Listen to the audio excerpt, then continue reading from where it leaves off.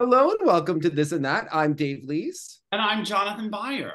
And who everyone likes, Alissa Czisny. Alissa, welcome back to the show. Thank you. Do you see how we Hello. worded that? Like everyone might not like, you know, yeah, but we do love you, Alissa. So Well, I started getting the emails where this guy goes, Oh, is Alissa on from time to time? I'll watch more then. And I was like, Yes. And oh, thanks. Um, yes. Say that someone's face. You're like, Yeah, yes. Okay. Yeah. it's okay. This weekend I had to um ask Paul if I could take Alissa's correction as opposed to his on a spin and then it worked. So that was like, you know, like a nice little like moment there. So then when I did my flying camel, he was like, Oh, did Alissa tell you about this? And I was like, No, she didn't. You know, it's But also, everybody's a little bit different.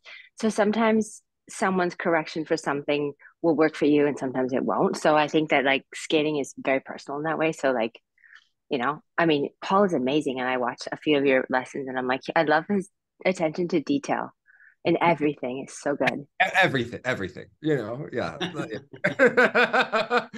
so uh, i wanted to discuss and we have alissa on um this week because kevin aymoz had a really rough skate at french nationals which was right after the grand prix final and i know that i've gotten a lot of text messages from people asking like a lot of questions and i think everybody is concerned for kevin alarmed and unsure what to make of what is going on. So I thought Alissa, as someone who has had a performance on the public stage that didn't go well, that you could kind of walk us through. And one of the things that was interesting, I was just thinking about is that, you know, we're coming right off of the Grand Prix final. He only really had four days in between where they had to fly from China to France.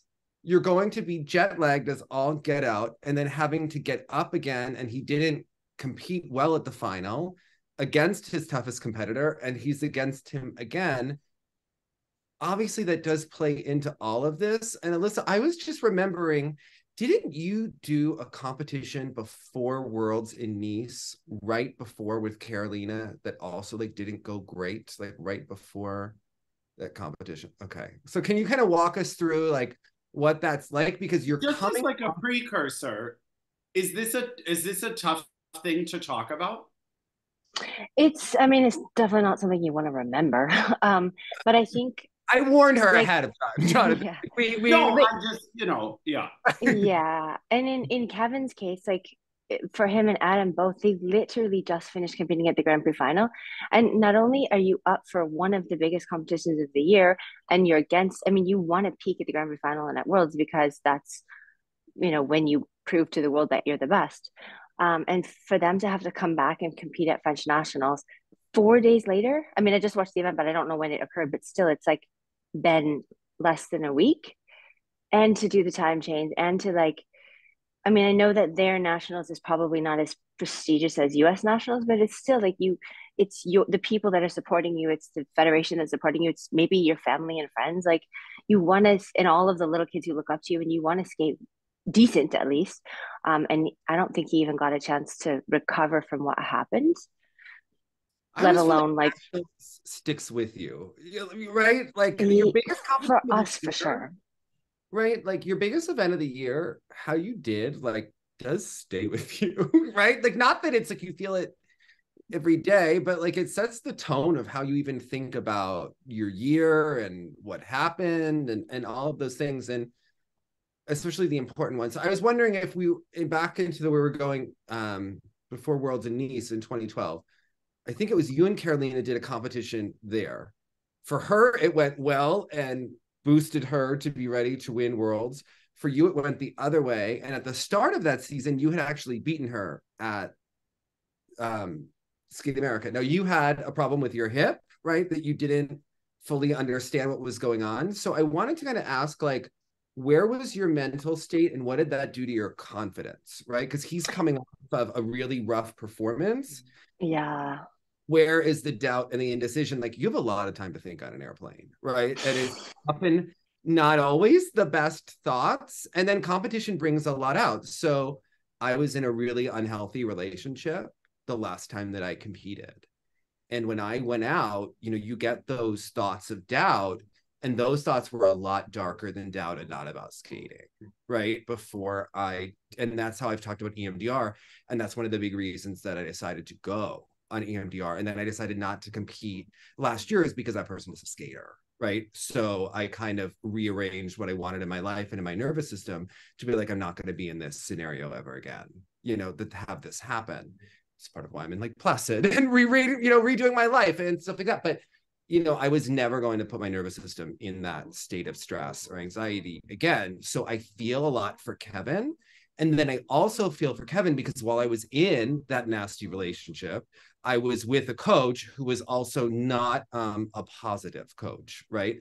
And at that time, she made a comment that said that Kevin is a choleric personality. He will only skate well once a year. You're like that, but 75% and that always just like stuck to me like every time he skates and then to have someone say they might be snowmobiling outside if that's what you hear when you're like looking outside and you hear something like someone's snowmobiling out there. Okay just just like letting you know. Okay it's like the lawnmower going. Okay so anyway with um when she said the choleric personality thing i definitely watch and then you think like well that's not true but it may be tougher for me to fight through some traumas and things to do to realize my potential and that's a lot of why i do emdr and like you change your self image and, and things like that. So i definitely have like a soft spot for when kevin goes to try to understand what he's up against and then knowing that someone picked up on similar traumas is like really kind of eerie you know? But you thinking of that and thinking of when he competes. So i was just kind of curious like your perspective on like the turnaround and everything like that. Like what he might be going through because he had really bad falls at the grand prix final that seemed borderline dissociative right? Where he was experiencing a trauma and his mind and body were not working together at all. You know these weren't just like he's not making a skating mistake. It's not like you're telling him like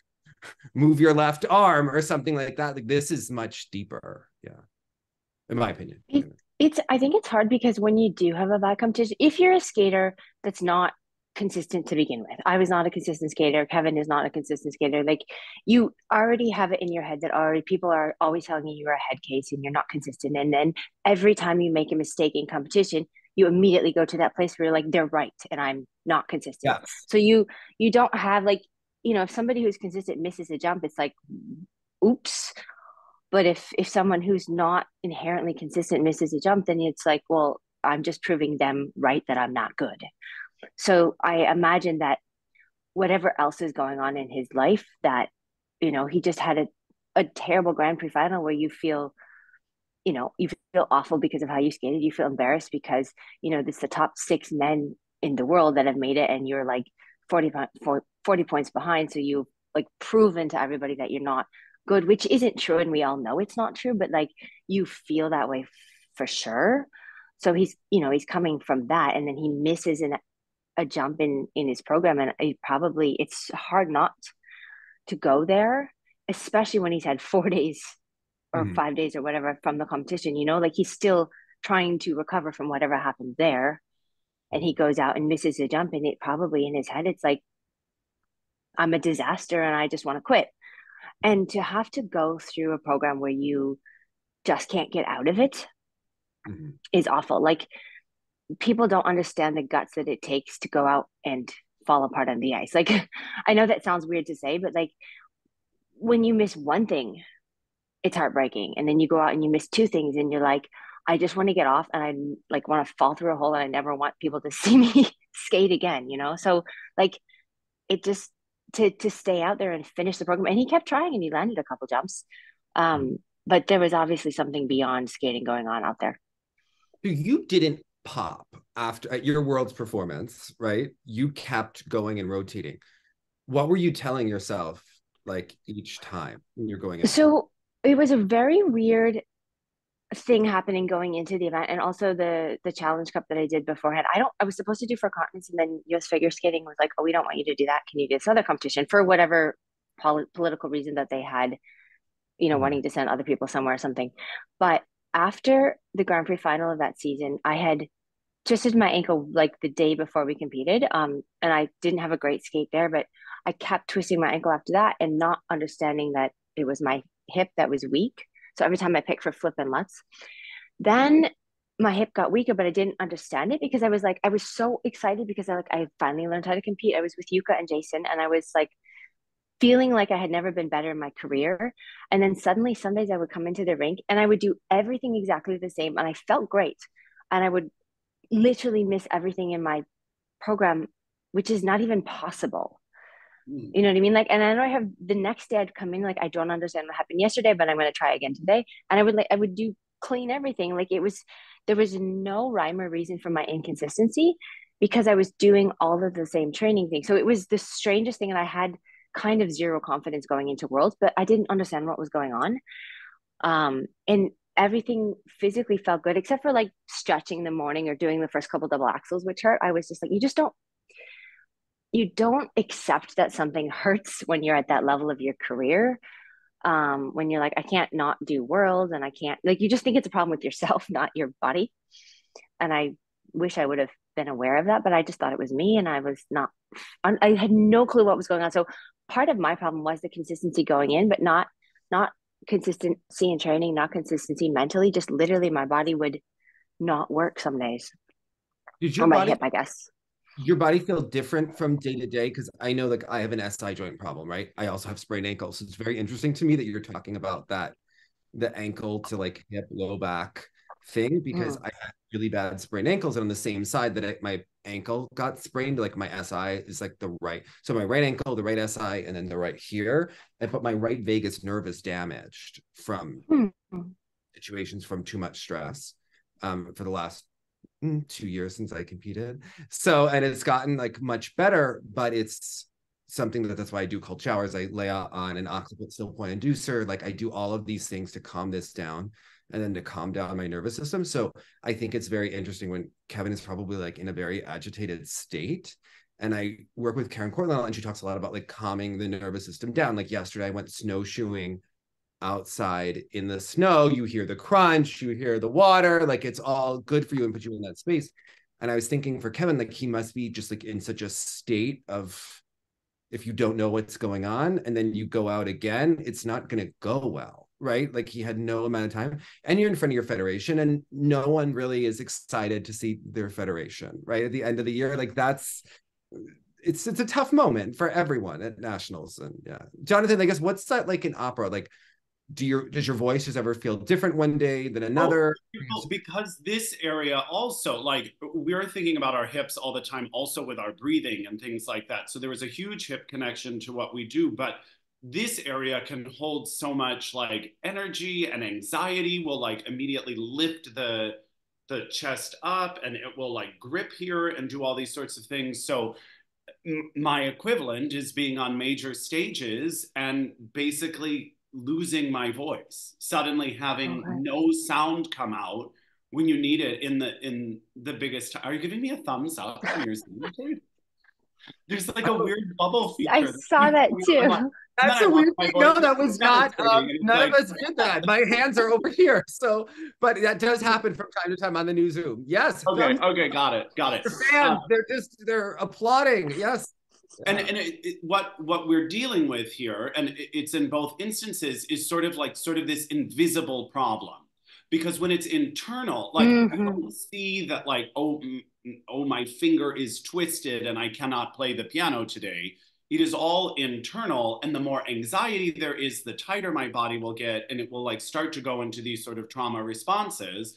And it's just compiling itself and making it so ridiculous. And alissa to your point i could warm up the same. I could have the same routine of sleep of vocal care all this sort of stuff. And it felt like i was leaving it all to chance every time. But really for me in those moments the common denominator was more what was happening internally within my body often as a result of stress, as a result of nerves, as a result of something that actually had very little to do with voice. And, and the equivalent is sometimes you're in the middle of an aria and you sense like the audience is feeling uncomfortable, you know it's not going right. And there's that part inside of you that's like, should I just walk off? Yeah. Let's just call it. Like, like, you know, like, what do they call that? Like, um, in like a I don't know some team sport when you're being beat by too much as a kid, yes. like the slaughter rule or something like that. Like, let's just end the pain for both of us, and I will just leave. And I have to say, one of the first times I saw that happen was Jeremy in Sochi when he took that really hard fall on the quad mm-hmm. in the short. And you saw like there was almost this this moment where he didn't know what was happening. And then I thought to myself in real time, oh my gosh, is he wondering if he should stop?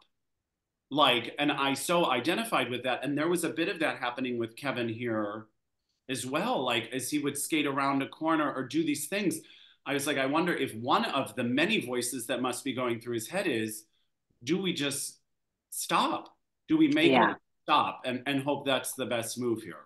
It's it was really hard to watch, and I have to say, um, and people will accuse us um, on the show of being non-sympathetic or you know too harsh on skaters, but especially you know when we're like, why are they doing this? Why are they doing that? But to see some of the the fan responses to Kevin's sort of situation here was was rather upsetting as um, and Amber too. Yeah, like, I'm, I'm not an athlete, but I'm a performer, and so I'm empathizing. Like, of course, Kevin knows that did not go well, but these comments like, "How did he get to the Grand Prix?" and like, la la la. I was like, by skating two amazing qualifying events. What are you talking about? Like, obviously, there's something going on, and we don't know what we don't know. But to me, it was tragic, not angering.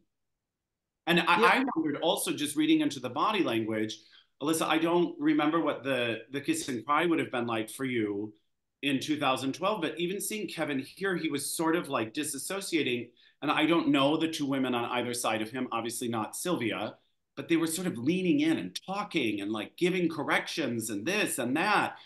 I, I wasn't catching exactly what they were saying, but I thought I don't I don't know that that's helping right now. Maybe let's all just be quiet. Maybe just give them yeah and and we'll we'll figure this out later but the physical like coming in on him from both sides like uh, my body started to react even watching it i found it i found it very upsetting to watch so yeah i hope he has i hope he has support because they and like i said too like you know he you make a mistake and that happens but it's it's so hard coming off his grand prix final skate making an, a mistake and then he probably immediately went to that place of like I'm not any good. What am I doing? What what am I doing here? Like every all those people who commented are right that I'm just not any good. Which like when you're in that place that is slightly dissociative because you're on the ice and it feels unreal sometimes when you're stuck in that like you thought that you did everything to prepare and then you're out there and something goes wrong and you just can't get out of it and you're like i'm ruining my dream mm. I think the problem is is that when you start disassociating in those moments, you start disassociating regularly, right? And I think that that's also... because you do what you learn, and if if if you are not able to get out of it, you you just think that's how it happens for you. Yeah, almost like it's out of your control, and and this is just who you are, and or not who you are, but like you know, no matter what you do to try to get better, it's not going to happen. This is you, and so you're like, and it's really hard to work. I think the problem is is that when a skater like this has traumas, we're talking about Jenny with it last night, and she's you know, traumas are never your fault, but then recovering from it is your responsibility, and that's a really hard thing, especially when you're dealing with the pain that caused those traumas in the first time. Like it's a real, uh, you know, sandwich to kind of like deal with, but you know, or they call it the black night of the soul or whatever you want to call it. But I think for Kevin, I can understand why, as a skater, you want to go to Europeans because you understand that if you don't get to go to Europeans, you're viewed as being over or that the federation has given up on you. And this is where you need really smart people and know that there are a lot of skaters who are very successful that have a lot of traumas, right? And I think that when you look at Amber you look at Kevin and you think like, okay, Amber's doing so well landing the triple X and then not putting the end of her program together. And this is someone that's training full programs, right? So people go, oh, get a sports psychologist. And like, no, it's not about that's not necessarily about like sports psychologist that's going to get you to train when you don't want to train. Like this is this is your view of yourself that then you do well and then you feel inherently unworthy and then things start going wrong right? Well, and i then, can't remember if we were talking to jenny about this or someone else at one point where they were like sports psychologists sometimes they found we're just again sort of like giving you ways to push through mm-hmm. instead of maybe actually deal with with maybe something personal that you need to deal with that will ultimately help you heal um yeah. and so so many people that maybe had to heal something instead were giving tips on like how to kill that warm up and it was like well maybe this is maybe this is a bit deeper than that and it should mm-hmm. be said also like you need that that time to clear and this is something we talked about a little bit with those constant gracie articles that came out she had several tough skates. There were several tough moments. And every month there was an article that was like i'm all better now. I've learned a whole bunch. And i was like with all due respect you can't have learned what you need to learn or heal what you need to heal in a month's time and come out the other side. And we were getting that so consistently. And like this turnaround if kevin needed time to process to figure out how to move forward from the grand prix final. That time was not given to him. And even though adam did not have a disastrous skate here adam also was obviously not at his finest either given the circumstances. Yeah. you know yeah so I, I, would go back. uh, speaking of gracie this spurred two things that you made me really think of that i wanted to kind of discuss is that I think in 2016, everybody saw that Gracie was in the best like condition of her career and the best program is the best moment to go for it. But then that's a worthiness thing too. But when we look back, remember it came out after those world championships that her father had lost his medical license for allegedly something with urine from another patient for tests. And like that's a huge trauma and things going on in the background of her life which would have then maybe put her in the perspective of being the breadwinner for the family and like a whole lot of stuff. And you can imagine that probably the people around her weren't very calm before that competition, knowing what's going on. And then we saw the reactions that kept happening and how it kept going downhill. And I think for her, I think in a lot of these cases, it's probably the best to take a step back and to look, and that doesn't like end your career. Like I think Kevin I look at like he's got two years to the Olympics, you know, like he can mm-hmm. make a lot of improvement by then. I wouldn't worry about Europeans at all. I don't know. What would you both advise for Europeans and him knowing that it's not that long, you know, from now? I mean, it, he for sure has the advantage of being from a small federation where like they're still going to send him anyways because he is amazing and he deserves to go. And this last two performances have no like as a federation, I would hope that they say, look, we know something is going on. We want to help. We think you're amazing. We think you will do amazing. What can we do to help? Um, but most federations, it's hard, especially like with US figure skating, where you have a lot of other people who also could make it. Then you did that's the end of your season, and then it could be the end of your career. Um, so I think in Kevin's case, at least he has the opportunity to go to Europeans and Worlds. I'm assuming. Um, you know, and I don't think it's in 2011, do you remember that Rachel Flatt was fined for her performance at the World Championships because Mirai didn't go? Right. Okay, because, so but this was a weird set of circumstances. Can you walk us through this? Yeah. I don't understand what happened because Worlds obviously didn't happen in Japan because of the tsunami, uh, the earthquake and the tsunami. And then we were fortunate enough to have Worlds in April. And we went and Rachel, being Rachel skated pretty good, but it was weird because she's always so consistent. And I think she missed because she ended up 12th or something, right? Um, and I don't remember her being injured. I don't really remember the situation. And then afterwards, people were upset because we didn't get three spots. No, we sorry, we didn't. Yeah, we didn't get three spots, um, which happens. People were with when the U.S. lost three spots. People became obsessed and traumatized yeah. with getting them back. And I think it was mm-hmm. worse is that at the time the ladies were all really bunched in ability, right? So if one of you had a bad day, you could always point to someone else and be like, well, they're better. But nobody yeah. was consistent all throughout the season. And Rachel was the most consistent skater. She was. And I, I she, she injured or not, like, I don't understand why they find her because it was without precedent, as far as I am aware. And I don't remember if they find her because she didn't tell them or they find her because she went and they knew she was in, like, I don't remember the circumstances surrounding the fact that they find her, but that is the one and only time that I've ever heard them do that. And I think it's mm. very unfortunate and was wrong. Yeah. Do you think you inspire her to do better now that she's afraid to receive a fine? Well, also, like, she was, if she was injured and did not tell them, then she was clearly afraid of them taking everything away also which happens. So it or maybe probably as an athlete she thought i'll be fine. I can work through this and i can still do my best because that's what we're taught to do. So you're not taught to disclose your injury and unless you're literally hobbling and you can't skate you're supposed to go and compete. So i'm assuming that she did what she has been taught all of her life.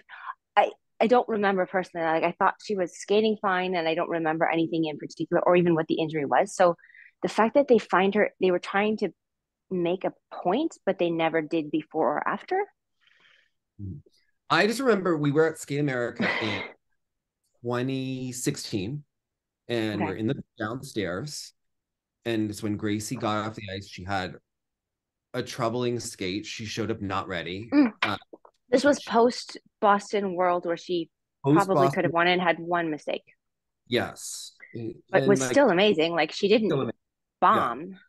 she was great right. treated it like she bombed you know she was fourth i think the world treated it like she bombed i mean she, sorry not the world but like the american figure skating world it got progressively worse to be at competitions and see what went down backstage. And I will say this until the end of time. I will always remember Gracie being alone and Meryl Davis coming and finding her and like taking care of her at 2017 Nationals. And it was just like, it really spoke to Meryl Davis's Oh, so whatever these icons are that are coming up, now that one was a thumbs down in this oh, spot. Oh no! I, I, don't know like what it is. Meryl's kindness is deserving of a thumbs down, which I would just no. like to iterate for the viewers before the comments explode. That I'm not even seeing it on this side. So if anyone knows what's causing it, I'm not even seeing the emojis happening. But it's I don't know. Meryl's kindness was. I was like, why is it supposed to cry? It is such like Sorry. a beautiful moment. It was like talking about. It's like, but I was like really being like authentic, and like I was like, Meryl was so nice, and like I remember like the girl could barely like it was backstage at 2017 Nationals. I don't know if she knew where her mind was, emotion, you know, like what's going on. And Meryl found her and like walked her, walked her away from the media, away from everybody in US figure skating, like got her out That's of amazing. there. And it was amazing. And I, I think that that was like a really telling moment. And I think that people always tell you to push forward, right? And there was a so there was a conversation at Skate America when Gracie was made some really dark comments, and we had like a I had a fierce debate with Christine Brennan, and I was like, no, she needs to take the whole year off. Mm-hmm. And it mm-hmm. was like, no, she's Gracie Gold. Like, you know, she she can't. And I bet you if that happened today, our conversation would be completely different because so many things have changed about athlete mental health and these documentaries and stuff since then. But I remember well, about that. that. Even sorry to jump on this about Simone and the Twisties. That I found there was a, a great deal of um, a generational gap in how you viewed that. I found that a lot of people younger than me immediately thought, good for her. They also weren't they weren't talking about a lot of the situations going on in Simone's life, and they still haven't. Yeah. And a lot of these are like imbued with racism and image and stuff. But you have to remember Simone's brother, her I think it's her biological brother from her mom, because remember she has the blended family, so it's hard to sometimes the the family tree gets confused with like like who how this is all you know related? Because her biological brother was in because remember her grandparents adopted her so some of her like aunts and uncles have become kind of like her siblings right? Because the tree the tree like collapsed right? So um he was in a murder trial and i believe that there was someone agitated by that and that there were bad incidents for hearing right? So one, they didn't want to talk about the fact that it's kind of like when Liz and Jerod competed at the Olympics, and all you remember is like, here's Liz Punsalan, and her brother killed her father, right? And they just like announced that on TV, right? And I think that they didn't want that with Simone, so that they kept that quiet. But all of those things that led up to the twisties and all of the pressure on her and everything, and I feel like people if you don't understand what's going on, I think people get really angry when they don't understand. But at the same time, if people don't let out certain information, it's because everybody's going to obsess over it and everyone's going to say, here's Simone and her brother was just in a murder trial, right? Like as you're going to do your balance beam routine. And that's how you become defined. But I also think some, I mean, in this day and age with social media and everyone shares their most innermost thoughts and trauma, I feel like most people don't want to talk about what's going on in their life. And i have gotten many times and i'm sure most athletes have is like oh you're in this like you put yourself in this sport so you like people are allowed to talk about your personal life which is not why we enter sport. Right. you know like none of us have entered a sport and given the public you know the opportunity to see our private lives. We don't most people don't want that and most people who enter sport enter sport because they love the competitiveness of it or you're drawn to whatever you know in figure skating that you love and you you become successful and you just by becoming successful doesn't mean you're giving permission to the media or the public or your fans or your not fans for information about your private life. And of course knowing as a fan knowing something going on in your private life generally would make them more empathetic towards you. It's so hard to never announced his divorce right? Officially? Like they never had like that big we got divorced announcement? So when you got married to him i can't tell you how many text messages emails whatever i got being like but isn't kurt married to someone else? And you were like that's been over for a long time. You know they didn't um put out a press release you know and it's it's weird how people they feel that it's owed to them. Yeah. Yes and, and it's like when you watch the stuff about the royal family. I mean like they didn't sorry back to my situation for a minute. You don't need to publicize your divorce. It's private. You want to protect your children. You want to you don't want people to start talking about it because it you're not traumatic. police, right? Like you're not and even then i'm sure like does she really want people talking about her divorce? You know like it's traumatizing for mm-hmm. whomever is going through that situation in whatever way and you don't want to share your bad news or your bad things or you know you just so it's like but i was watching the thing i can't remember if it was the thing about harry and meghan or, or whatever but like when they were talking about how england as a country expects that because they have the royal family that they are allowed to know everything about the royal family they they mentioned that in some way and i thought that was so apropos about like figure skating where figure skating just in general people who are successful in sports the fans feel like part of being a fan is that you owe them part of your personal life. London's wild too. So in the uk how they deal with the press which is another way that we don't even understand i was there in 2007 obviously like blogs were big at the time but you know, in the morning in the UK, everyone has their, you know, tea or their coffee and they're getting on the tube to go to work and everybody is like very buttoned up. And at five o'clock, they pass out those like trash rags that are like tabloids like we've never seen in the US. Okay. And like mm. some of it is planned publicity and some of it is crazy drumming up oh, stuff. You were even talking about in the David Beckham documentary, which then I watched and thought was so excellent, which I didn't know much about him, even though I think I had a poster of him at one point. Um, but it was it was something about like was it the World Cup where he was like kicked out of the game or whatever that was, and like just they smell blood and they just go for it. And that was also a line from I Tonya that I really remembered when she's Margot Robbie is is Tonya is talking about like, yeah, America loves to love somebody, but they really love to hate somebody too. And it's so easy to just throw someone that they feel is not delivering under the bus. Did um, you ever see the Olympic trials with Vanessa Atler in 2000? Mm-mm. This was the first time that Bela Karolyi was going to pick the team instead of the scores. By the way, in almost every sport, unofficially to quite officially, the federation knows who they want to pick much prior to these competitions. They are essentially an exhibition. And if you actually look in the bylaws of the Olympic procedure, it's completely legal for them to do that. So we were sitting in Nashville in 2022. And remember with COVID and that those people were on the team and you kind of knew who was going to make it. But remember when Ilya skated well, we were sitting next to someone who was texting with Lori Parker. And it was like, no, Jason's on the team. It's fine. Mm I remember I gave a show where I like really explicitly like made my case for why I actually would have put Ilya on the team in that selection procedure, loving Jason's skating so much. Yeah. But based on what we saw and knowing that Vincent had locked up the spot at Skate America, that it almost had to go to him, right? Based on who was winning competitions that year.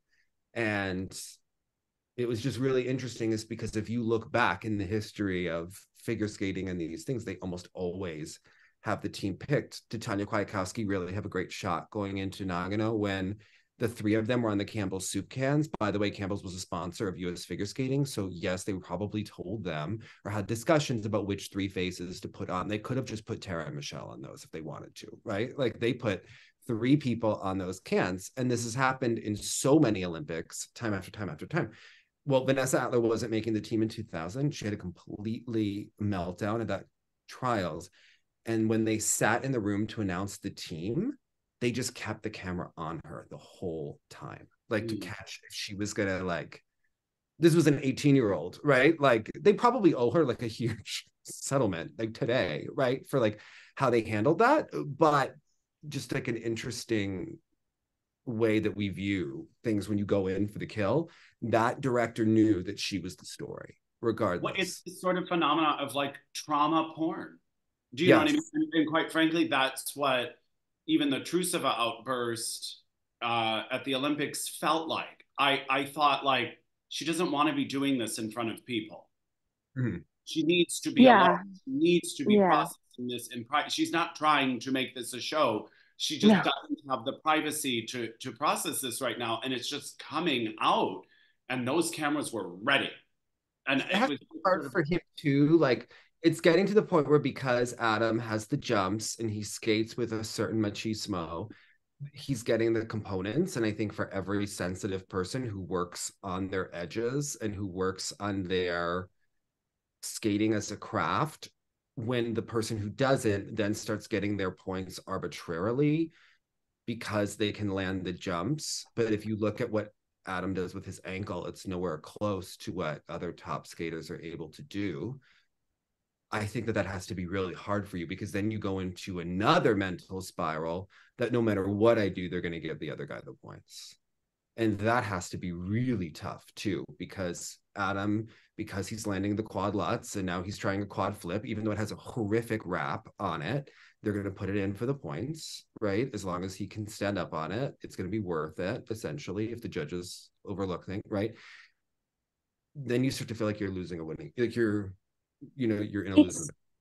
I also think like having been there and been figure skating for a long time is it's not even like it, there's a weird rut that the mm-hmm. competitive skating world falls into where when you start not getting the points as you've been speaking of like kevin who should be you know getting interpretation of a 10 most of the time maybe not here but that was an exception um and in choreographically and and of course skating skills but you start to not get the points because you're not doing the jumps and mm-hmm. even when you do do the jumps they don't give you it if you know someone else is landing quad everything. Um, the, it's a weird thing in the sport of figure skating that you also start to feel like you're not deserving as a person or mm. you're not good enough as a person right? Like it somehow people treat you as that it's a not that it's a personal thing because of course your skating is personal but like as a personal how good you are as a person. I don't know how to explain that. And i think i'm looking this up because i remember gracie had a quote because her book is coming out and she said, um, I couldn't remember the last time I had been accepted for being a good person as opposed to a great athlete. And I, I read that today and I was like, that's how it started to feel is when you didn't skate well or when you couldn't skate well, people didn't think of you as a good person, which no is value. so wrong. Yes. You have no you have no value, but also like you must be you must not be a good person because you the results are not coming to you, or you must be doing something wrong in your life because you're failing. Like people said the most awful things to me when I didn't skate well. To your face? Oh yeah. Yeah. Mostly not to my face because people aren't that bold. Is it like or... the Hawaii comment where that woman went up to her at the competition? people make comments like that, but you know, over email or whatever to me before. Yeah. Mm, yeah, most of the yeah, most of the time they're not. Most of the people don't have the guts to say it in person, and if they do, then at least you can have a conversation. Or and usually you can see that there's something going on with them as well when they say something like that to you on their energy, right? It's much different from a computer yeah. screen. Yeah. But but I notice, and it's like you know, once you're out of the competitive skating world, it's so much. It seems so silly to say that it felt like that existed. But when I was in it, I really felt that from other people. And when I skated poorly at Worlds and missed everything and still tried, like I didn't try to miss, I didn't, I tried my best to try every jump and rotate it. And I just ended up on my butt every time. Um, after that, even there and after that, people didn't talk to me people that were my friends did not talk to me. People that knew me did they just like and i understand that if someone has a bad skate you don't know what to say but i had other people other specific friends that spent that whole day or that whole like evening with me to make sure i wasn't alone.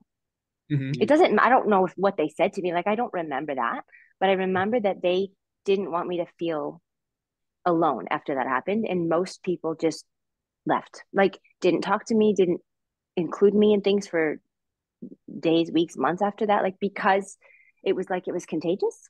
Yeah, I it fired. was like I was suddenly a bad person. Like it's wild how people treat you, and I'm assuming that is just a competitive sport thing that people just fall into that mindset. But I don't, you know, so like Kevin is probably also going through that. As many of us that can say positive, supportive things of him, he probably is only hearing the people that say, you deserve to skate badly. You're a bad person. You're doing, you know what I mean? Like it's hard not to hear those and think that they're right because you did skate badly.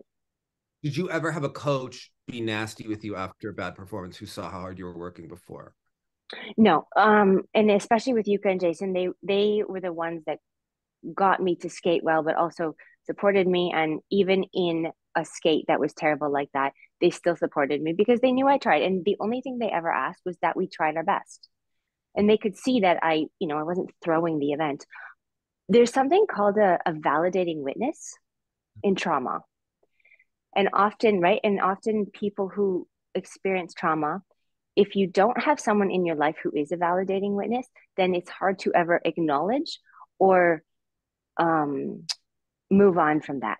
And if you have, especially, a, and it has to be a person that's important in your life, a coach or a mentor or a very good friend or a teacher um, and I think if you don't have that, especially in figure skating, you can go down the wrong path really easily because the people around you who should be supporting you through those hard times are gone or they're blaming you for it, which is even worse.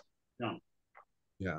I was going to say that I fired a coach because after a bad performance, they gave me the silent treatment and I was done because I knew. There, there's one thing if if you know that you've gone out there, you didn't work hard, you didn't do what your coach said, you you aren't prepared like you know when you've gone to a competition and you're not prepared and it's your fault. And when your coach you know tells you that and you know it that's one thing. But most i mean how many of us really ever go to a competition unprepared didn't work hard? You know it maybe happens at a summer competition for some people occasionally but like nobody goes to a competition not having tried to prepare their best. I thought i wanted to ask you because we're talking about kevin and how you know, Adam is now getting these component scores that seem very high, even in skating skills and interpretation for his ability.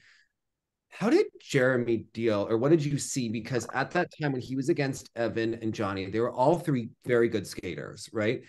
Johnny had a lot of natural ability. I think there were people that thought that that was kind of some of his ease and glide was kind of taken out of his skating because they had changed styles and Galina is very obsessed with things looking masculine and big in a very specific way that I think worked against the fluidity of his skating that people fell in love with with Priscilla, the way that he would like sink into the edges and it would just be a little bit more delicate.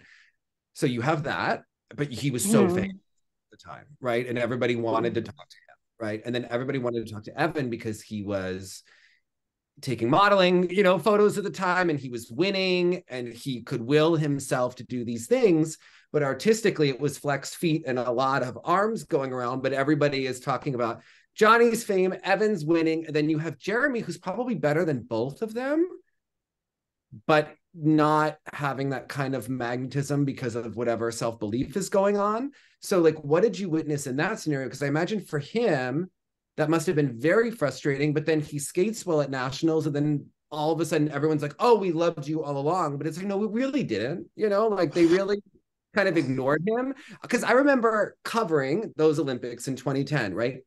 And the PR people oh my god it was black and white it was evan and johnny and like the subtext was straight versus gay right was going into this jeremy true, was actually you know like those what the, those articles were about i can't remember the context going in but didn't jeremy win the grand prix final Yes, that was 2008, or was that nine? 2008, 2009, he won the Grand Prix final, and then he won nationals that year. And then he didn't do well at Worlds, and that was kind of a, and then he left Tom Z and went to Yuka.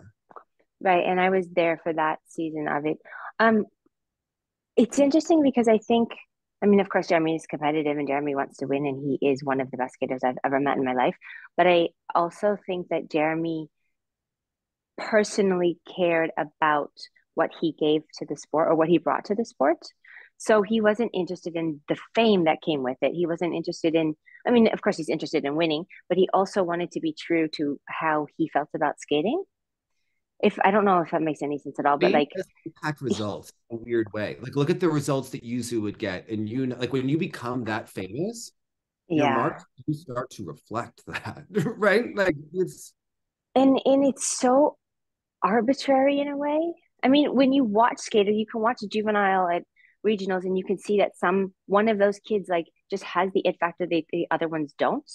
But that doesn't mean that they're going to make it you know in any respect. It's just there's something there that you can't teach and on the reverse side of it sometimes you're at nationals and you don't understand why this skater is getting all the marks because you just don't see it.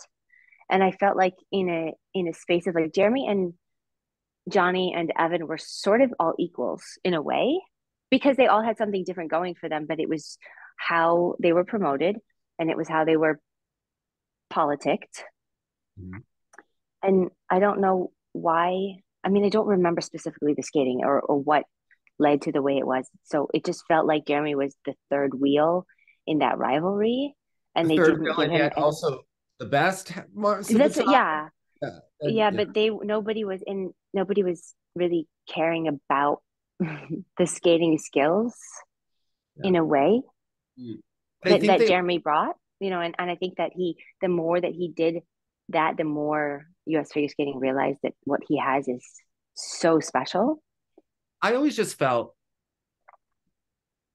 that Jeremy wasn't comfortable speaking the way that the other two were in giving interviews and that he would get himself in trouble but also like backed in right and i remember before sochi he was trying to say something that Jeremy was not fully out at the time, right? But they were asking about the Sochi anti-gay propaganda laws. And he said something, and you could tell like he didn't know what to say, right? He's a gay athlete going to Russia, not fully out, but everybody in skating knows that he's gay, but he hasn't like declared this to planet Earth, right? And they asked him about something, and he said some comment like, Well, I wouldn't go and change the drapes. And I remember that a reporter went after him for that. And it was it's, like, I yeah. I remember that and I I know I don't think that they were I think they were told not to say anything. I don't know mm-hmm. this for certain. I do remember that there was no here's what you should say, here's what you shouldn't say, here's a good way to phrase what we think. Not have had that. They knew that kind of question would be coming up. Like it's a very... I think they didn't. I think that they did not want to address it themselves, and I uh, um I know Ashley spoke out very well and they, um, this is that, that has been obsessed with people not seeming gay for decades, right? Like think about that in the history of skating, right? And now yeah. on a dime become like we're here, we're queer, and we're going to Russia. You know, like they don't know how to handle any of that. They're like, well, how should we handle? Because we're going to lose sponsors if we, you know, like they're not. Yeah, that's true. I think also like some people are innately more comfortable speaking or sharing their life like we were talking about at the beginning where the fans feel like they owe that you owe them your private life and some people are more than happy to give more of themselves and some people and and this is what I was sort of talking about with Shoma that I, you know, didn't say that I don't love his skating, but I I don't connect with him as well as I connect with say Kevin and you know Shoma may be really shy and maybe he's really like not comfortable sharing himself and that's why he is a perfect skater just not vulnerable to us. Mm. And I think that some people are innately like not comfortable speaking or sharing their private life and their public personas and so sometimes then I think they get more hated for that because they're just shy or not willing to share. And they're they of course are like you know they have their own personalities and they have their own stories and they have their own traumas and they have all of that that we just don't know about. So then we're not as compassionate as we are to someone who is spilling over everything that is going on in their life. And that's that's a personality thing and that's a comfort level with sharing that you know? I was certainly not one to share anything going on in my life. Yeah. Especially I think also of the ages of a lot of these skaters like for so many of us like an emotional trajectory like recovering from dramas and all these sorts of things it takes time. And as i get older i become more empathetic. I become more mm-hmm. what i am actually going through in certain moments. And i think and, and I don't say this with any disrespect, but not only are they at a young age, but it's sort of a sheltered community, which in yes. some emotional ways makes that age even younger. In, in, in for sure. Yeah. And you're taught to suck it up, right? You are trained to suck it up to get through training every day. And sometimes we have said in certain skating scenarios, there's sort of that question where it seems like Yuka and Jason were the adults in the room for you when you needed one that in many circumstances, there is no grounding adult in the room. If we're talking about people needing emotional safety, grounding, centering, all this sort of stuff, emotional definition, and the people around you don't have that, it's just this perfect storm for unending chaos, I think. And I don't, I don't wish that situation on anyone. Do send Kevin to Europeans? I personally wouldn't, and I would tell him to go to an island that week go to Hawaii, go to Bali, take that vacation that you've always wanted to take with a book. Don't take terrible cell reception. The worse the cell reception, the better, right? Make it so that you actually can't load the video of Adam Fa at Europeans God forbid he wins and you're Kevin and you have this person that's assuming that's even what's driving this. I know there is the rivalry with Kevin and and and Adam, but maybe that's way more than that. It's way more than that, but it's it's a um whatever Kevin has going on is personal, right? Adam through no fault of his own, happens to do well at a moment that Kevin is fading. And that's why I'm saying no matter what, because they have been peers and very neck and neck, if Adam goes to Europeans, he's got a very good chance that he could win. Kevin should not watch that competition. You know, like great for Adam, achieve but it has nothing to do with Kevin, what's going on in his life right now. When is Europeans? It's the first week of February, end of January, like it's a month from now ish later than that i can't remember. Because also because also do you think if whatever's happening in kevin's life if if it's a situation that can be dealt with and and he can get back to training do you think that doing europeans would be a plus for him? Because it would at least go out and do half of your jumps like you know lower the difficulty content and just stand up on your feet and gain a little bit of confidence because do you want this to be your last competition before worlds and have a positive moment with that. Yeah, even, even because not the medal. The yeah. the year that Carolina won Worlds in 2012, she came to Skate America in 2011, and she didn't. I don't remember she did flip and lutz, so she did one flip. Like she she had a lowered content. She added the flip in right before Worlds, and so right every competition she was adding a little bit more con- content but also adding more confidence in her and i don't i can't remember if she was injured and that was why but like instead of going to a and then falling, she just added confidence by staying on her feet. And maybe that's what Kevin needs at Europeans. Second, that's, it, you know, pardon? I think that Alyona Alyona Leonova was second with the Pirates of the Caribbean program. I mean, I'm, I'm mixing program. This shows you how unimpactful, but it was, it was controversial at the time that Carolina won. I think that was 2011. I was randomly there. You Which one? In Nice? Yes, yeah, you were there with Jeremy. but I ran into you and your mom the day after. You were like walking in a park, and I was randomly with Jeremy and his mom. I bet you Lisa doesn't remember oh. Because she probably doesn't remember a lot of things. Yeah, and that's fair. And that's fair. I was so, singing. Sorry, you had to see that in person. And I was like, and, "You have to take these rehearsals off. I'm going to Nice." And they're like, "Oh, are you singing in Nice?" And I was like, "No, there's a figure skating event." Mm-hmm. Well, I'm sorry you had to see my performance in person. Well, January 8th is Europeans. January 8th to the 14th. Mm. That's fast. Then I don't I don't think he should do it because I think that I think it would better it would be better to have more solid training to to recover to have more solid training and to to bring himself back up. If there's something before Worlds like the Challenge Cup or something, maybe do that. But I think that January 8th is really soon. I think the first thing he needs to do is calm his nervous system down, completely relax, and then go back right and and maybe be around sunlight and like positive things because you're in such a bad environment and it's cold and it's dark and take yourself that's what i would advise you know like just take yourself out of whatever environment you're in. I mm-hmm. don't think he's going to turn it around by europeans and i think that it's good i think the stress of getting ready for europeans when you then can bl- be blamed for how many spots you get the next year and everything like that like oh, i roll that out. Like don't go okay? Yeah.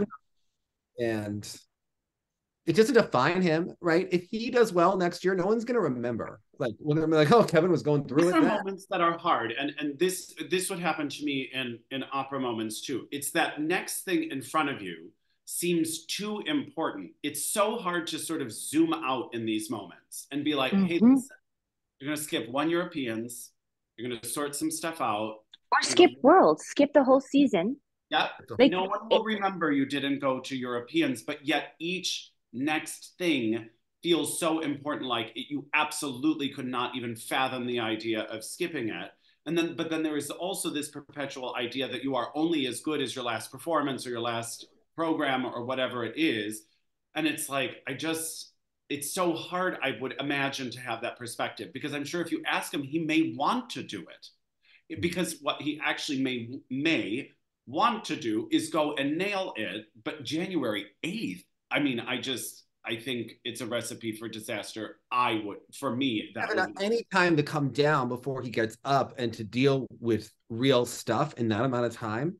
And I wonder with because it's obviously very serious, like it's it's substantial, whatever is going on, right? Like this is not a hangnail, you know, this is stuff to dig it's going to take some months, right? Like, yeah, yeah. You need some time to be in an ice rink and fall and cry and you know rebuild. But I think for him, it's so interesting. In the past, he's taken all season to get to like his really good place, and then last year he was at his really good place at Worlds, and then they did a bunch of shows. I don't think I did it was training, but they had that World Team Trophy right after, and he performed well.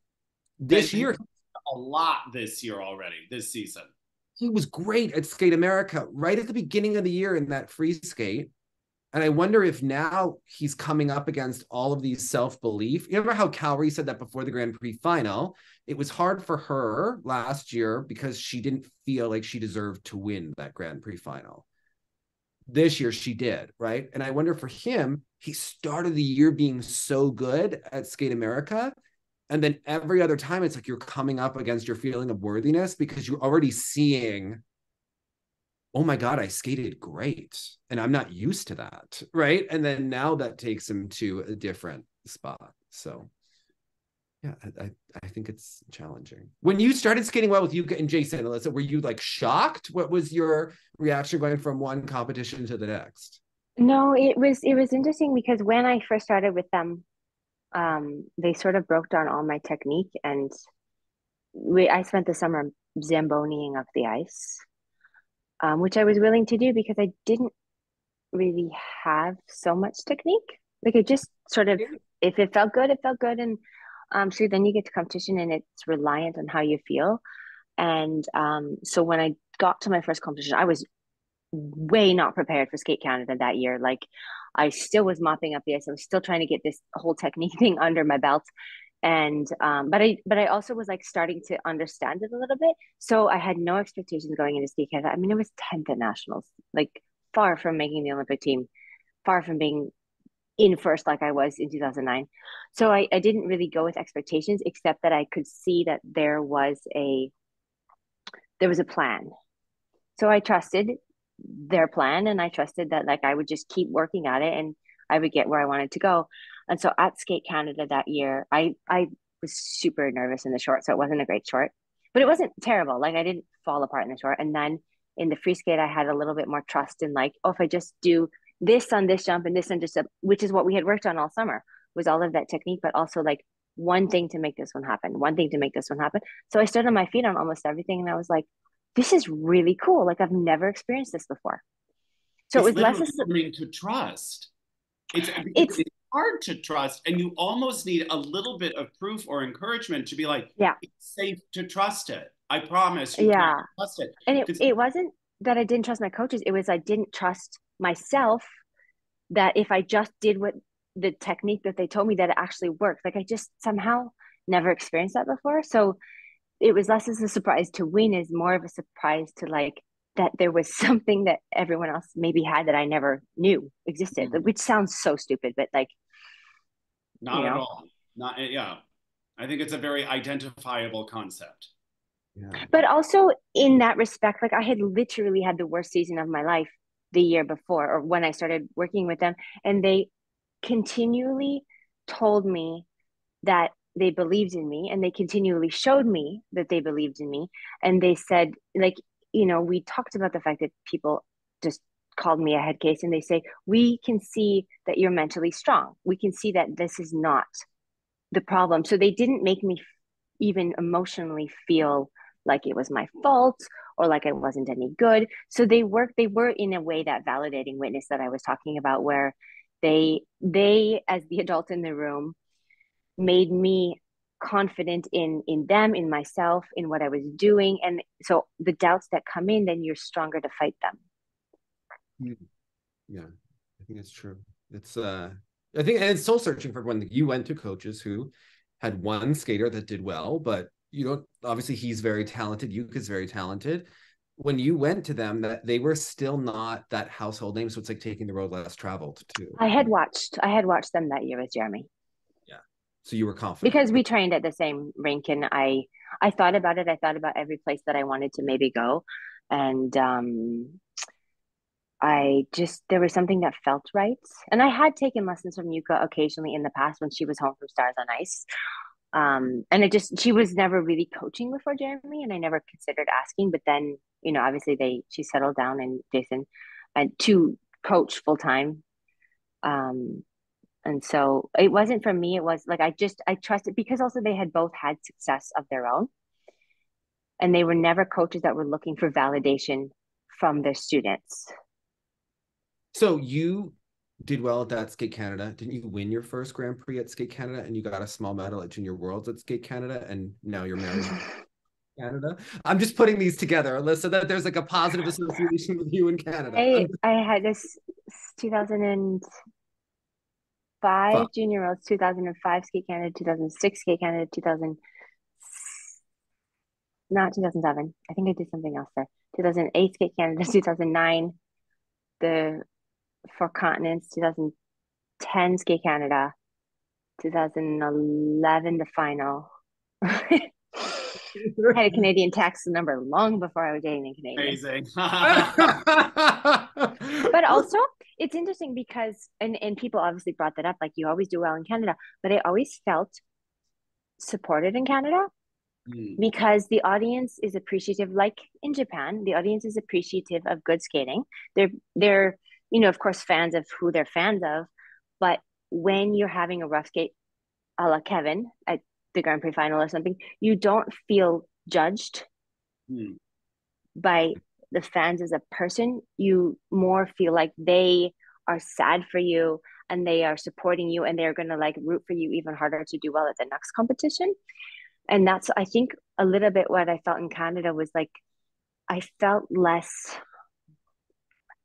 Uh, I had less self doubt because I didn't get the vibe of like people were like, "Oh, you have to prove yourself to be any good." It was just like I could just be me there without where I don't know. Like this is sounds like a weird thing to explain, but no, no, no. It, it's actually making a lot of sense. But I mean, as as dark as my performance mine was working, as I heard some people in the crowd at this French National mm-hmm. sort of start yelling like ale ale like doing all this sort of stuff trying to get behind him i thought to myself gosh me as a performer would shut down even more. Because i would really? be like oh my god you're so bad they have to like pick you up this is so embarrassing do you know what i mean like and i have heard like Kevin make those kinds of comments. There was one mm. French nationals who got like an astronomical score. And I remember Silvia freaking out with him in the kiss and cry and looking to him and being like, oh my gosh, you got this big score. And him turning to her and be like, it's French nationals. It doesn't even count. Like mm-hmm. he was like, that score doesn't even matter. Like it's not a real score. And I, I just think there's probably a lot of underplaying. There's probably a lot of this stuff. I just, I think in those moments as a fan, I'm like, oh, this is amazing. The crowd is lifting them up. To me as a performer, it would make me even more embarrassed. I think I would shut down even more. Not that I'm saying like fans should not still attempt to pick mm. up. I I wonder that too because I remember in Nice when I was falling and falling, and I don't remember much of the performance except that I literally could not turn it around. I couldn't fix it, and I just wanted to like never show my face again. And I just wanted to get off. Yes, but um, I do remember that everyone in the stands like started clapping when I would get up which mm. is like you said slightly embarrassing because they're clapping for you to get up but at the same time it's like they appreciate your effort and they feel for you so it's not like it doesn't make it worse in mm. a way because you already know you're a disaster you're mopping up the ice you just like shouldn't be there in any respect mm. but it happens in in it's he finished the program and he kept trying and in at the grand prix final i had so much respect for him because he didn't let the program go at all right. like the intensity of the program to in like to fall and to fall apart like that and to not give up the program i mean he didn't do the anna where it was just like making it worse because it was bad which is also something that comes from maybe the people around you expecting you to be perfect and you're like well i'm not perfect so i might as well give up and throw the baby out with the bathwater. Like exactly. So that that is i don't know it's so important that people around you in these situations when you're really not an adult. Of course i know that these people are adults or mostly adults but you still need that person in your corner because you've grown up in this world where like you're judged as a person by your latest performance on the ice did Anna's coach hide behind the curtain when she skated? There's no way, way that that's like good energy. You know, there's this theory that That's Karen, terrible. Karen Portland was telling me about theories that they have about energy in parents and kids. And she was saying that if a parent is so nervous when their kid performs that they can't send good energy to them, that it's better for them to not be in the arena because oh. the athlete picks up on how their dominant parent in that activity is performing. And I was thinking about because we interviewed Dorothy Hamill her mom was really nervous all the time and they had that contentious kind of relationship in training and then she said my mom didn't go and i came back and the room was filled with smoke and like you know my mom didn't see my performance but like in a way if that theory is true and i'm sure there are a million examples to contradict this right but if you believe in that theory then that's a really interesting thing if the parent wasn't there did that free her right and i think about nastia liukin who her mom was too nervous to watch her at the Olympics in Beijing, and she also did it. So there are those parents who are too nervous to watch, where maybe the relationship between mother and daughter isn't healthy, right? Because of the shared traumas of training. And you think about all of these dynamics when you separate the parent from the kid and like why it could be a different way. I, th- I just thought it was like a really interesting theory. We're also talking about like current dominant thought which she was talking about Brian Boitano at like the Olympics and how have you changed the words you say to yourself? And I always think I've always had coaches, and maybe it's because they're not English speakers, but I think everybody knows I'm a perfectionist and that like that's my biggest thing to overcome, right? Like it's a great tool, but it also is something to overcome. I've often had coaches that will be like, don't be nervous. Well, when someone says that, is nervous and don't stops you right like this is an operatic concept we talk about like vocally like in technique is you cannot do a don't So yeah. this idea of like, don't overblow this note, don't slow down here, don't. Da, da, da, da. I mean, it sound and I when I first heard these concepts, I was like, oh, this is such like hipster dipster like nonsense, like blah blah blah yeah. blah blah. But there's something really to it. If I gave myself an action like just remember to do this here, it was so much easier than this sort of blockade of like, don't go flat on this sustained moment.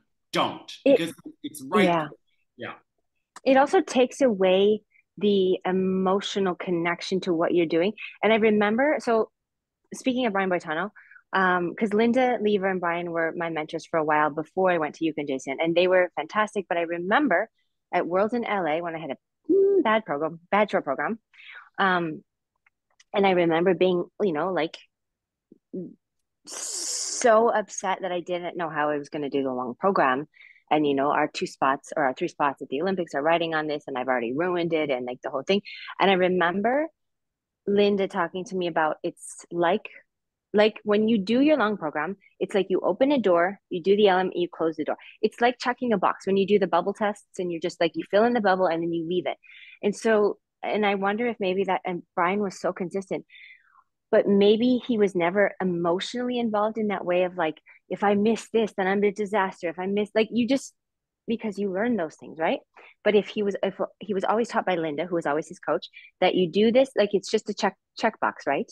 So you're not um, you check it you check it you check it and you just you start to not think i'm a terrible person if i miss this jump or like i miss this jump you just you do it you do it. And that's the same thing in a different way that yuka and jason taught me was to think about what I needed to do for the jump technique. So then you stop, like you just don't, your brain can't hold those other thoughts, like don't fall, or what is that judge going to think of me, or am I going to make the final, or you know, does my mom still love me, or like you know, whatever sort of thoughts, they're gone because you don't have space in your brain. You only have enough space to to check each box as you're doing it. Mm-hmm. Um, and like obviously it worked for Brian, that's for sure.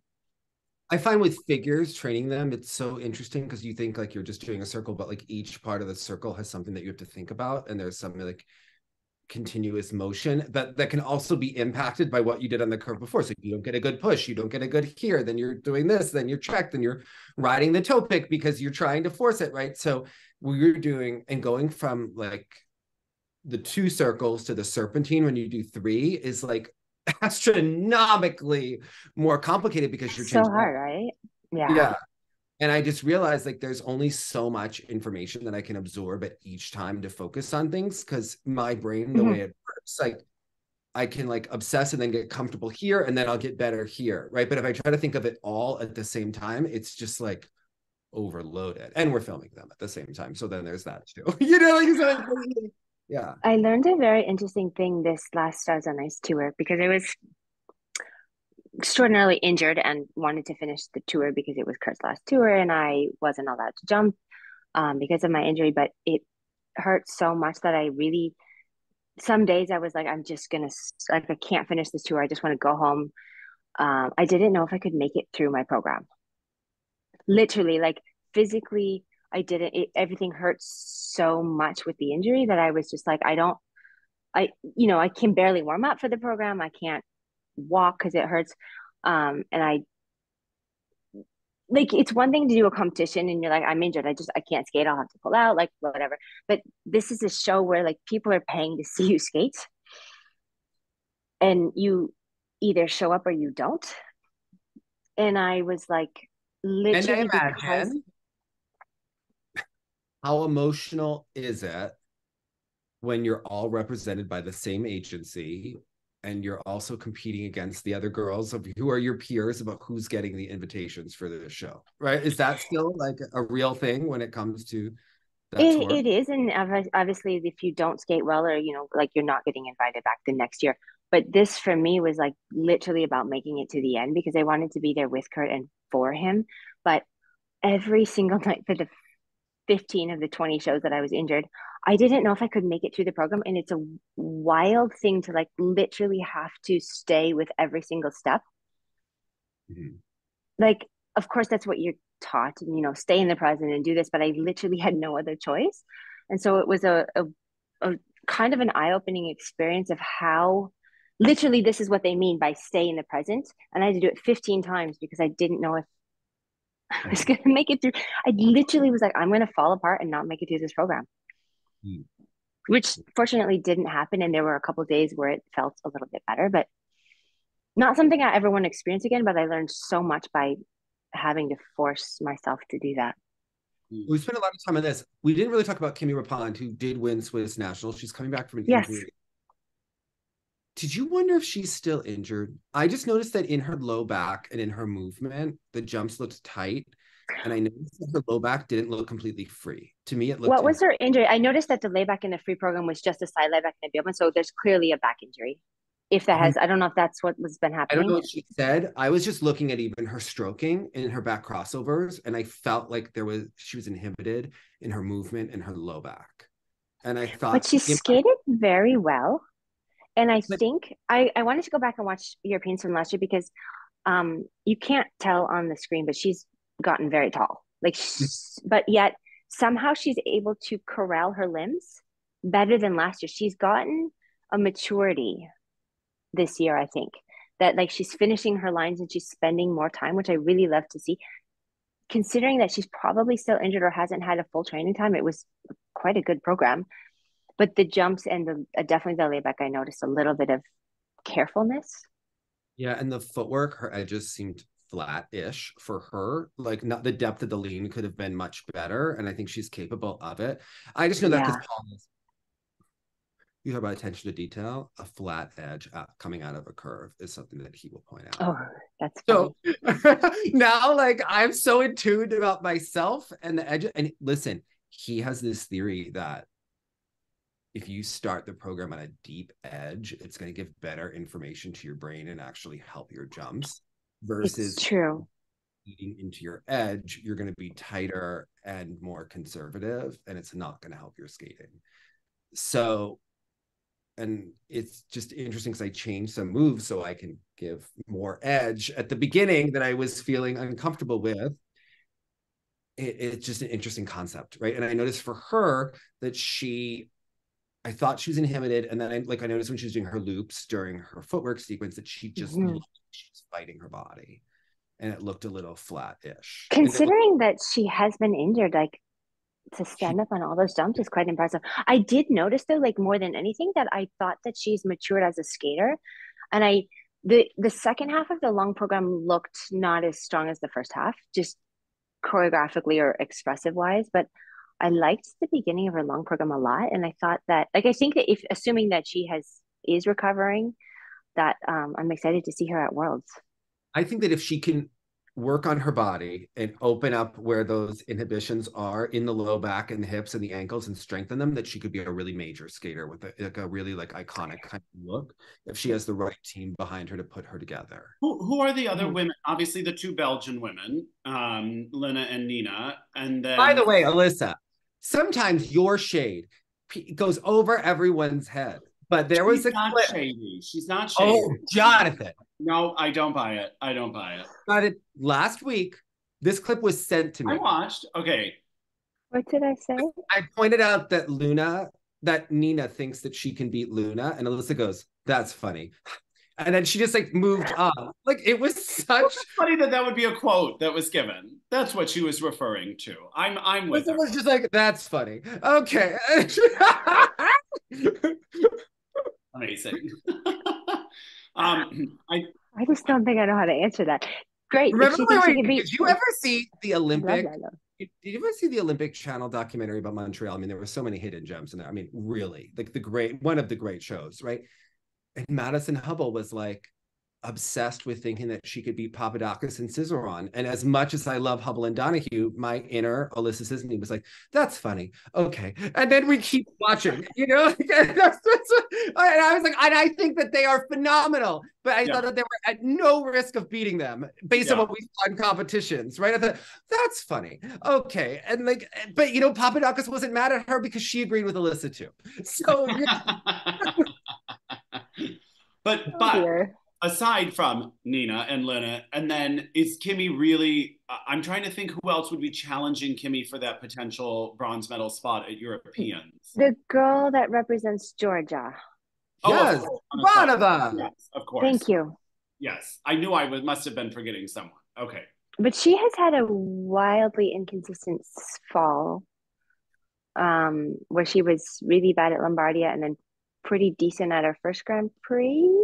And sometimes program to program within an event, one would work. It really feels well. like that a little bit, which seems so strange because she has that Russian technique, and it's very strange to see someone with Russian technique missing. It's just because we don't, right? Because the Russians never seem to miss. Um, so it was not unexpected, just weird to see that. Yeah. Okay. Have you seen the video of Papadakis and Cizeron training with the Paris Ballet? They were like, what? No, I haven't. I want to watch this. Okay. So they're like talking about coming back, and their movement style did look very different, and they do look to be in good shape. He looks ready, like right now, right, to come back. And I, would asked Marie-France, do you think they will? I think that it's like their destiny to come back because I was thinking if you're as good as they are and you're watching the field and you're like, no one is great right now. I don't think they're watching the field. I wonder if they're getting bored. Yes, they have to be because anytime they actually go to work on exhibition programs in Montreal, they'd mm-hmm. be seeing the best in the world, right? They'd be looking at Chock and Bates. And you'd be saying to yourself on some level, well, I could beat that. You know, like, come on. If you know, if you know that that's the world champion and you're going to get an exhibition and you're seeing the world champion in the rink, I think you would. I, I cannot imagine that your brain, even if you're not consciously thinking of it, it's not like, well, we could beat them. You know, mm-hmm. like, come on. I, I do. It depends on, I think for them, it depends on what their life is like now. Because, you know, being competitive and working towards that next Olympics is all consuming and you have to sacrifice a lot. And if you've entered the real life and you're like, this is great, like I can have a balance in my life, then then they're not going to want to come back. Um, but maybe what recently where she was talking about that exact thing, where she was like, it has been so refreshing to be out of the of the grind, but she did leave it open as in like a for now. It's nice to to just step away for a moment. Well, I find that because social media has made so many people quasi stars, right? You almost need to do more to become to have that lasting career because if you don't, there's always someone else that could come and replace you, right? Like Johnny's the commentator, and then Adam comes along. Johnny's going to feel like Adam could take my place at any moment, right? That's one. I felt listening to Adam's commentary. I enjoyed it. Yeah think about for them, right? They are top ice dancers. They won an Olympic gold medal. They also have a silver. But skating isn't huge in France right now. They are doing shows in Japan and they are doing shows there, but there are only so many slots in Japan. How do you how do you make sure your professional career goes on four more years to buy you time and build other projects? You win another Olympic gold medal. Yeah. Right? Like, it, it depends on if that's what they want. If they want to continue skating, then that probably is the most conceivable way for them to do it because they could likely easily win and then you get asked to do the shows for another four years or whatever.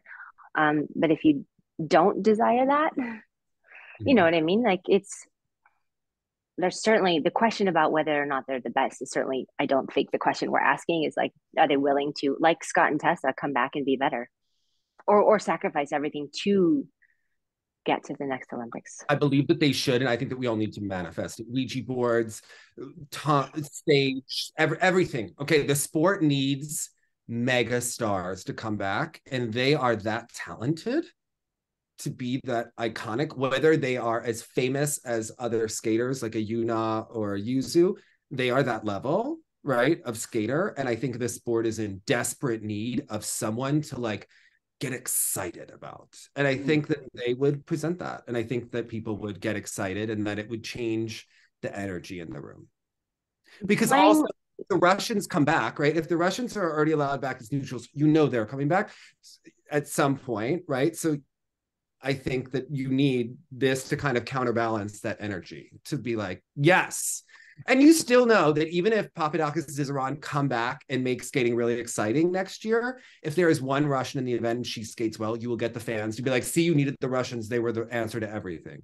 It's more than mm-hmm. just one person. You need many stars and storylines and interest and things like that. But I think that, yes, this is what will happen in the future. But yes, I'm team them coming back. Yeah. Playing the devil's advocate, though, remember like in the Sasha era when she was always in the shadow of Michelle Kwan is like eh, can the sport move on if the people stick around for if the top people stick around for so long for example like you know whoever's coming up and dance behind i don't know if piper and paul are continuing to the olympics. I don't know if maddie and evan are continuing to the olympics. Um, i do hope that both are because i think that they do bring the excitement and the rivalry that we wouldn't have otherwise. But if Papadakis and Cizeron come back, then are we losing other skaters that might, like we were talking about with the Russians, where people weren't meddling, so they weren't going the extra step to, you know, I don't know how to. We were talking about this before, though. Like when when you know that someone is clearly the best and you're never going to beat beat them, are do you care as much? Do you work as hard? Do you put in the effort to be as creative as if you're just gonna like I think you have never gonna win. Madison Hubbell and Nina and think that you can. Mm-hmm. Even if you can't. Yeah. You know what I mean? That's why like even even though yes, the idea of Nina beating Elena it seems a little bit funny, if that's what keeps her striving and growing. Yeah. And it's it's also what's interesting is that the dance field that's been left now has also already been established. That's so this is true. Like, so yeah, not like there's a new team that's like trying to break through and be big stars. True. Right now. True. That have been playing second fiddle, fiddle sort of to them, trying to have their moment now. I guess so. Uh, that's why I might view it a little bit differently. That makes sense. I think we were robbed having trained at the same rink of Hubbell and Donohue, and just seeing that on the daily how much were we robbed by not seeing them go against Chock and Bates for that world title last year? Like be neck and neck all year, all day. Like how exciting then? I and- love love watching Maddie and Zach. Like they just I think they they bring an excitement to dance that's not always there because maybe aggressive is not the right word, but the way they skate is so full of excitement and so different than the pretty skating that dance has often seen. And I think Maddie is Maddie Hubbell is one of the strongest ice dancers I've ever met. But like there's something special about her skating and with Zach. I mean, she was great with Keiffer as well. Like I don't want to to to say that they were not great. It was just that they were not supported. Yeah. Yeah, they were not supported being a brother and sister team. So that wasn't going to happen. By the way, he does Pardon? adult he does adult pairs. I know, yeah. He's he was um struggling with the toe picks for a while. He wasn't like, used to having toe picks, and he kept tripping, so he he shaved the bottoms of him down a little bit because he's used to dance, right? And he didn't want to be like, in a lift. He didn't want to be a lift, and yeah, he's great. He's fantastic. Like he might be the better Hubbell of the skaters. I think they're. I mean, both of them. Whether it's like their own genetics of what they were gifted with, or whoever taught them basics he has like a Cizeron quality now that he does all that yoga. I mean, have you seen like he can bend himself as a pretzel, right? Yes, I see it with him. Yeah. And then he got like he had this like short haircut going on in Delaware. He was he was in his prime. It was yeah. It was like who's that? You know, you see someone and you recognize them, but you haven't seen them in a really long time, but they've changed like aspects. And I was like, who is that? you know, and he was doing pairs, and yeah, yeah. it was a. So yeah, I I'm I think that they will come back and that they should come back. I think that this is. What do you think, Jonathan? Do you think that they no, will come back? Sure. You know, I, I I have always loved what I have always bought what they are selling. Always, always, yeah. always. So I, and they, I they've so- changed the sport of ice dance. So I would love to see, having been out in the real world away from the competitive sphere and maybe they maybe they're re-inspired in a different way i would love to see how they come back because they are trailblazers for sure yeah. I like how the Browns post every day that they're in Montreal, that they're training there. And that's like a subliminal message to us that they're moving up in the world. I want to know if they'll move there full time, like maybe with Joel Dear, because he's one of the top specialists in the US who's highly regarded. And I was thinking like it worked through them now, like they have um, you know, both teams helping them. But what happens in the future? Like if he moved there, would that make I am even stronger? And hmm. is it possible?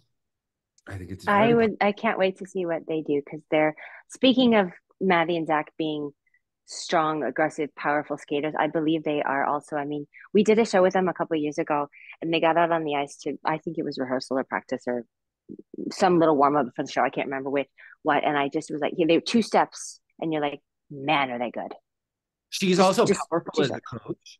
She there's a juvenile boy that I think is moving up to intermediate that I skate with and he's a talent and like madison hubbell has been recruiting him from like moment one that she started coaching because she's trying to get like the under you know to build up like your grassroots mm.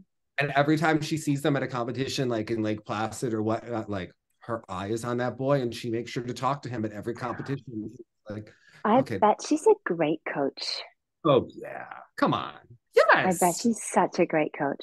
She's tough and positive and in your face and yeah, of course she's good, right?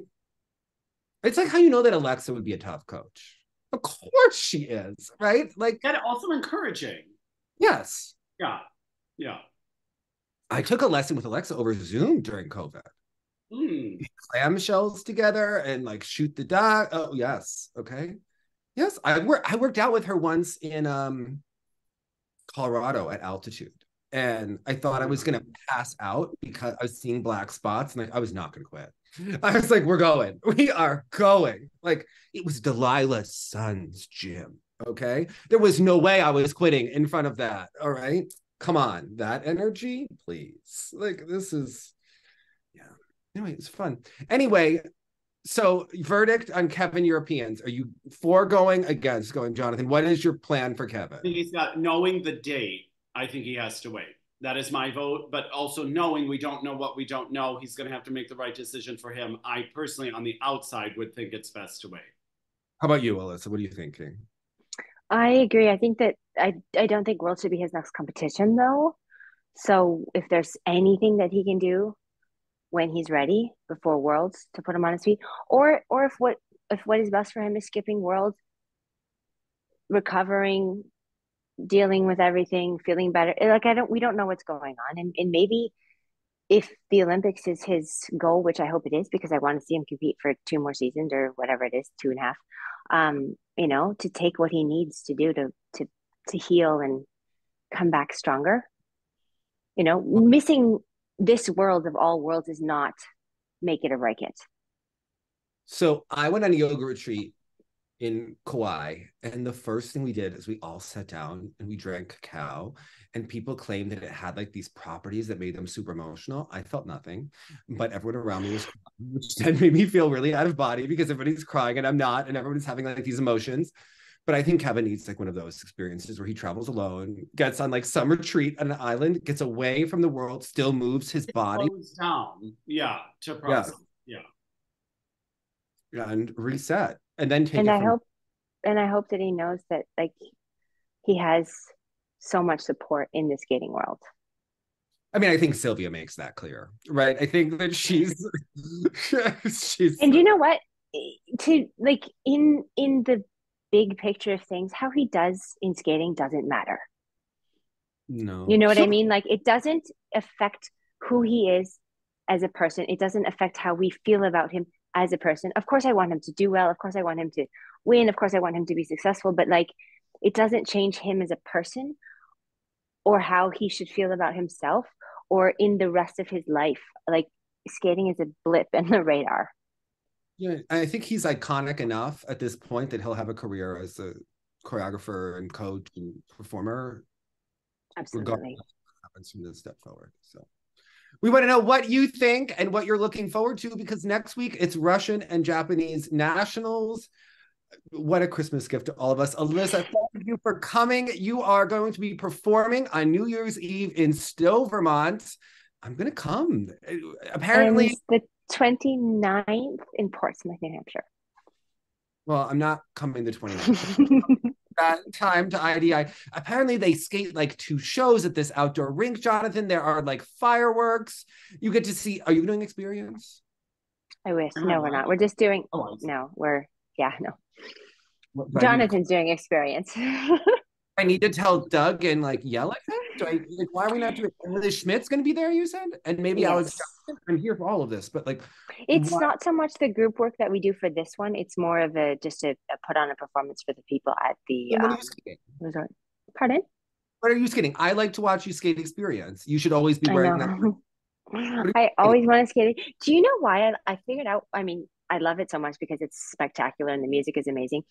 Cindy Stewart choreographed All it. those men lifting you, Alissa. All those handsome men. Is, is my IDI boyfriend lifting you in that program? that one he is Yeah. well and I um but Cindy Stewart choreographed that piece and she's a lefty skater and it's the I think the first time in my life that I've had a lefty choreographer and everything in that program feels so good and then I realized I'm like oh it's because like it's supposed to feel good she goes my direction is this what other people feel like in all of their programs Amazing. The, the the struggles of a lefty skater. This is My incredible. waltz jump was also lefty, so fear not. was it really no way we're gonna take Jonathan skating Yes, Jonathan, we should take you skating. God, you know, I tried to like do it again at like Sky Rink a couple years ago, and um, there were a couple of very sweet people that like recognized me from TSL, and I was like, no, no, no, no, this is like, no one sees me moment. Like, I just need to feel comfy again. Like, come on now. I was so tired in Potsdam, and Paul made sure everybody knew that. Oh, that's from TSL coming, and it was like, like not that time, Paul. This is not that moment. Yeah. And oh, and then he was like one tough thing after another on Friday. Let's do this. yeah. Oh my god.